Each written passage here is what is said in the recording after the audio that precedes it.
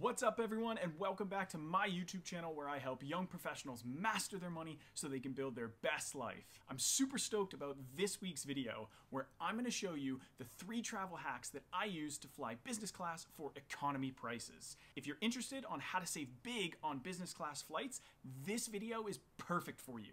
Let's get started.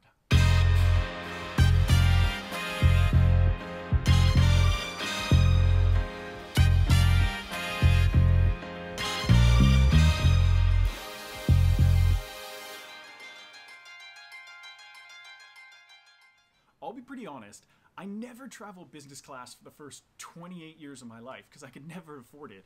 But in my previous career, I was traveling around the world selling sponsorship for Manchester United, and the company paid for business class on long haul flights. I got a little taste of the high life, and I won't lie, it was pretty awesome.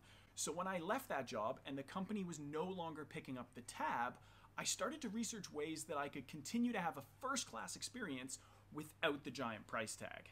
So without any more delays, let's dive into the three hacks I use to get smoking good deals on business class flights. Hack number one is to leverage travel rewards credit cards. This is a classic and probably the most obvious way to enjoy business class flights on the cheap. Each country is going to have different rewards cards options, so you need to do your homework. But essentially, you get rewards points in exchange for spending money on your credit card. In the UK, this is my British Airways Amex card. This is a free option, but you can pay an annual fee for the Platinum card, which opens up even more travel rewards. So I get one Avios point for every pound that I spend on the card and can redeem those Avios points for flights all around the world. The main bonus is that if I spend 20,000 on that card in an entire year or 10,000 on the platinum card, I qualify for their companion voucher, which entitles me for a 2 for 1 travel on any British Airways flight. Let me show you exactly how the reward scheme plays out. I found this non-stop flight yesterday from London to San Francisco, business class return for just over 1600 pounds. A good deal to begin with.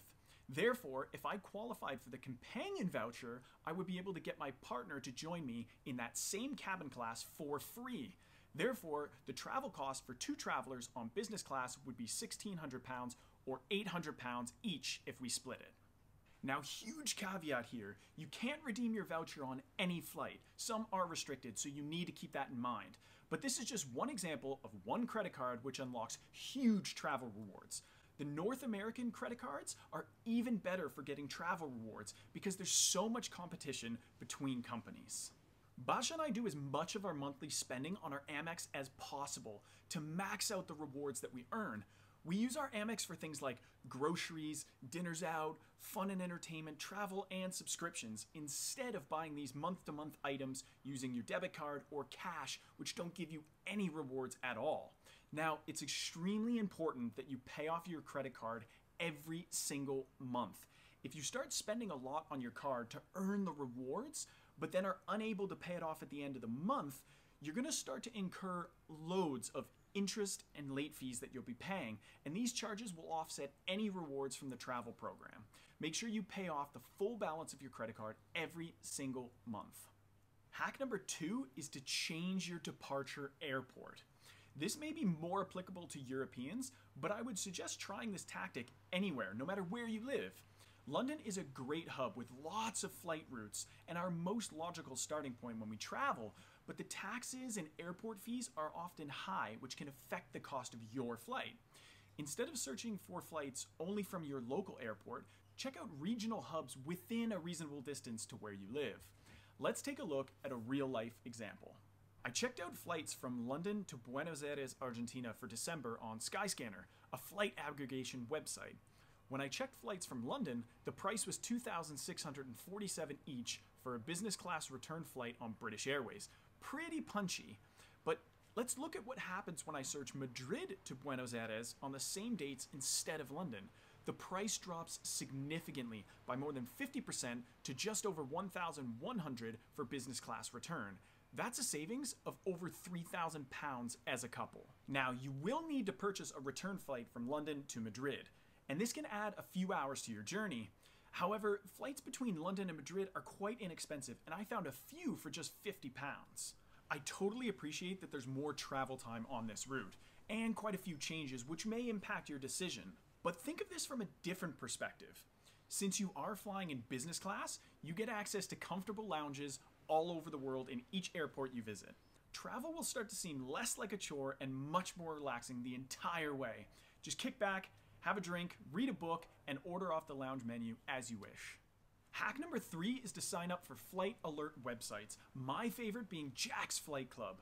They were originally a UK company only, but recently launched in the USA. What this website does is monitor flight prices day and night for price drops, error fares, and other discounted options, and then serve them to you. I get a regular newsletter update from Jack's Flight Club offering me anywhere from 50 to 70% off flights to a variety of exotic locations around the world. I was recently sent one offer, which was a business class flight from Manchester to Thailand for 600 pounds, which is just insane. Jack's Flight Club operates a freemium model and a small subscription model as well for 75 cents a week to get more exclusive deals. Both are great options to bag super cheap flights, especially in business class. Most flights on Jack's Flight Club can save you anywhere from 300 pounds to 400 pounds and sometimes much, much more. So even if you only book one flight over a decade, you will cover the cost of that subscription. The one drawback is that these deals are usually for a very specific period, which means that you need to have a lot of flexibility in your schedule to snag these great deals. Once me and my partner achieve full financial independence, we'll be able to use these deals much more often at the drop of a hat. I hope you found these tips useful to score some amazing deals on business class flights. Make sure you hit that subscribe button and ring that bell. I'm dropping videos every Wednesday teaching you how to harness the power of money to improve every area of your life, and you don't want to miss a thing. Happy travels, and I will catch you in the next video.